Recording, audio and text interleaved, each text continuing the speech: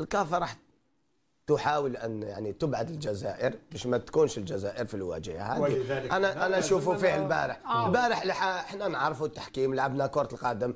نعرفوا حاكم كي يكون كي يكون آه، كيما يقول لك عنده هذيك ال- ال- ال- ال- انحياز. ال- ال- انحياز الانحياز وعنده. هذيك الحيلة في التحكيم. لأن لو كان ما عندوش الحيلة في التحكيم ما يكونش عارف باللي رقم اثنين عنده كارت أصفر. يروح مباشرة يجبد ومن بعد يرد يقدر يدير له لا. لا كان عارف كان عارف خلاها تمشي لأن هذيك آه، لقطة فيها خطورة. لو مشى محرز راح تكون. خطورة. لازم لازم بطاقة صفراء وما عطاهاش عطى للمس اللاعب ما شدوش كثير شدوا عاود تلقوا 60 متر بعيد على المرمى عطى له صفراء بن سبعيني.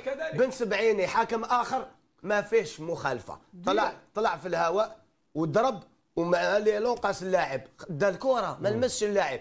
أثر على. نتيجة اللقاء؟ أثر على اللاعبين اولا. أثر على اللاعبين لأن لاعب وسط ميدان دفاعي من طالب تعطي له صفرة يولي يخاف. آه، بن ناصر تعطي له صفرة يولي ما يقدرش عنده لونجاجمون المام اونجاجمون اللي كان عنده. عطال تعطي له صفرة يخاف يخلي زملائه الآن